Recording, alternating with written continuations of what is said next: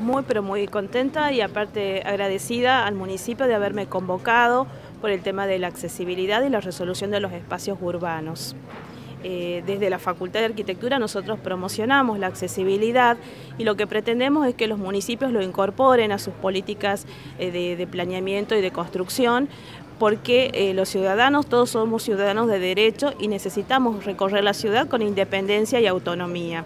Y en esta obra de la peatonal se está logrando ese cometido por la incorporación de elementos y lineamientos de diseño muy importantes a lo que se hace a la accesibilidad, como el piso podotáctil y en un futuro la señalética. Recordemos que la diversidad humana eh, abarca diferentes tipos de usuarios, personas ciegas, personas con discapacidad eh, este, con síndrome de Down, cognitivos eh, y motrices. Entonces, incorporar la accesibilidad a obras públicas implica que, esta, eh, eh, que toda la diversidad humana y todos los ciudadanos podamos recorrerla y disfrutarla y encontrar en ellas la seguridad y la autonomía. Sí, ha sido una decisión del intendente municipal eh, preocuparse de esta, de esta temática, una temática que no es muy común encontrarla en las ciudades.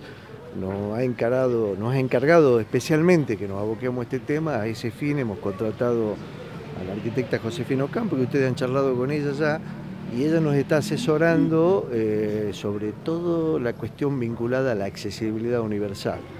Eh, intentamos que Concepción sea un ícono en ese tema para que los ciudadanos se apropien de este, de este tema y además eh, sea un ejemplo a seguir por otras ciudades, ¿no? que creo que merece la gente con discapacidades visuales disminuidas tener posibilitarle transitar la ciudad eh, como un ciudadano común. Sin ningún temor. Exacto, de eso se trata y nosotros estamos haciendo un aporte, lo hemos convocado a ellos también para que en un intercambio de ideas puedan hacer también sus críticas al, diseño y el equipo de diseño eh, ha participado hoy en terreno viendo la problemática y de ahí van a salir mejores soluciones, de eso se trata. bueno, como decía el arquitecto Taruli, este, desde la, digamos, la, iniciativa ha sido hacer un espacio, un pedazo de ciudad totalmente inclusivo, ¿no?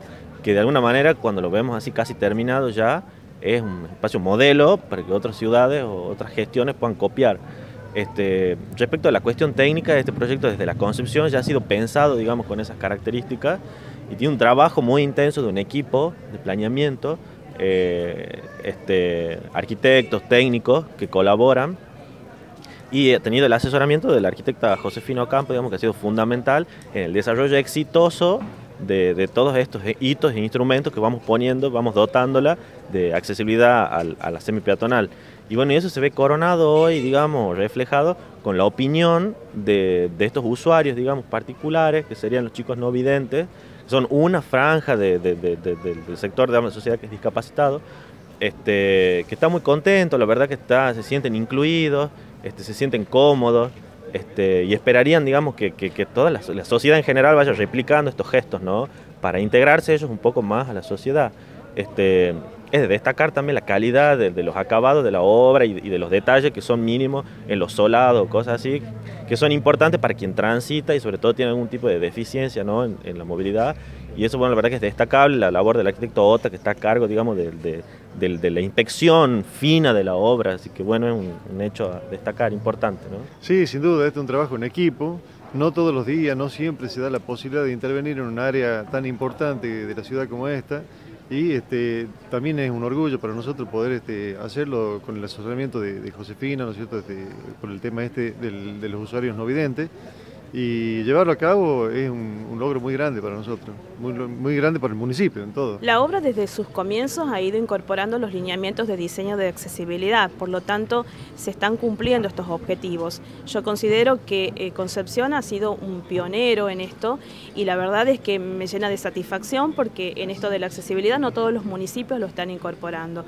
Para mí Concepción, eh, eh, digamos, está a la vanguardia de esto y son los propios usuarios los que van a evaluar y los que van a poder dar su opinión con respecto a, este, a esta construcción. Sin embargo, creo que está muy bien resuelta, eh, con mucha seriedad por parte del equipo de planeamiento, así que muy conforme con esto. Eh, la accesibilidad es muy importante porque nos permite este, formar parte de esta ciudad, nos permite movernos de una manera más autónoma Y nosotros personalmente estamos muy contentos y muy agradecidos de que se nos brinde este espacio, porque ya lo dijo acá la arquitecta, somos, digamos, los usuarios, somos quienes van a evaluar en cierta manera y este, les damos, digamos, eh, como les marcamos el norte para que las cosas se puedan hacer bien, justamente para, para la mejora para todos. ¿no? Lo que nosotros queremos decirle a la sociedad con nuestra presencia en las calles es,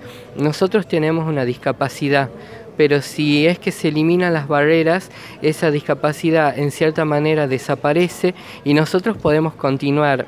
Y un mensaje para aquellas personas que tienen nuestra discapacidad u otras discapacidades que nunca eh, se animan a salir de sus casas por miedo, estamos trabajando para que justamente pierdan ese miedo y puedan salir y puedan disfrutar de la ciudad, puedan vivirla como cualquier otra persona. Personalmente, hoy orgulloso de la ciudad de Concepción.